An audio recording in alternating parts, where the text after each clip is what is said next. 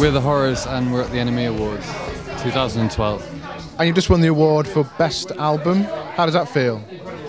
Very nice, thank you very much. Yeah, it's great. I feel the same.